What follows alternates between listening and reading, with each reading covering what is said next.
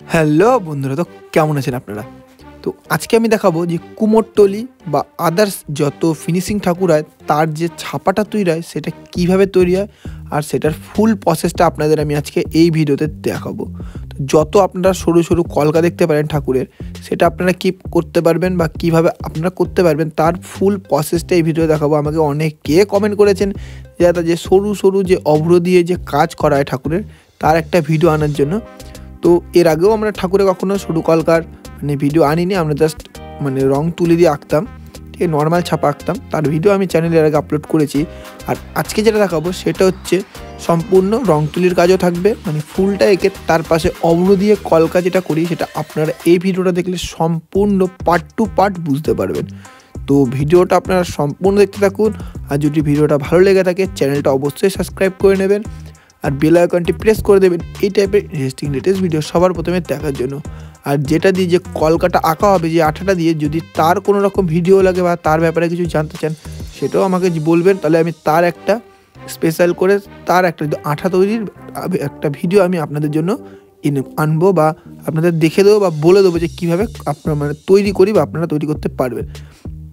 তো এই ভিডিওতে আমি সম্পূর্ণটাই দেখাবো, তার জন্য ভিডিওটি একটু লং হতে পারে। তো ভিডিওটা আপনারা সম্পূর্ণ দেখবেন, কেউ ভিডিওটি স্কিপ করে দেখবেন না, তাহলে কিছু পোর্শন মানে কিছুটা পার্ট মানে মিস হয়ে গেলে আপনারা মাঝখান থেকে বুঝতে পারবেন না। তো সম্পূর্ণ দেখুন নর্মালি আঁকা আছে, এটা কোনো রকম যে আপনি পারবেন না বা কিছু কিচ্ছু না কিচ্ছু নেই আঁকাতে জাস্ট নর্মালি আঁকা আছে। দেখতে পাচ্ছেন নর্মালি ফুল এঁকে, তারপরে যে রেড কালার এটা দিয়ে জাস্ট একটা ডিজাইন একটা আর্ট করা আছে।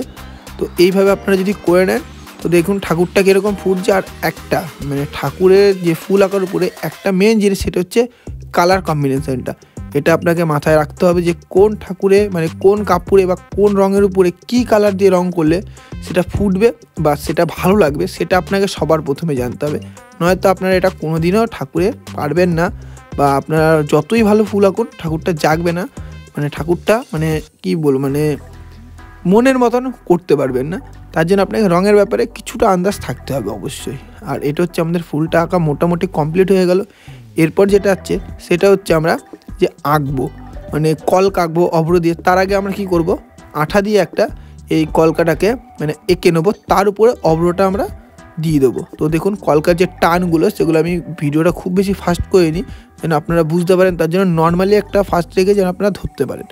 তো ভিডিওটা আপনারা সম্পূর্ণ দেখতে থাকুন। আর বারবার বলছি কেউ স্কিপ করবেন না, তাহলে আপনারা কিচ্ছু বুঝতে দেখতে পাচ্ছেন, প্রত্যেকটা টান কিন্তু নর্মালি আছে, আপনারা অবশ্যই দেখলে বুঝতে পারবেন এটুখানি আমি বলতে পারি।